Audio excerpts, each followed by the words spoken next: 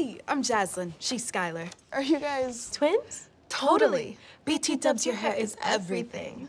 Despite their Simi Valley accent, the twins from Tyler Perry's The Shining were actually from the hood. They were also CalU's hottest track recruits, which meant they were judged about everything, just like the young black female athletes who came before them, who were scrutinized about their speed, their bodies, even their edges. But America's Darlings were a far cry from this guy who had a different opinion about America.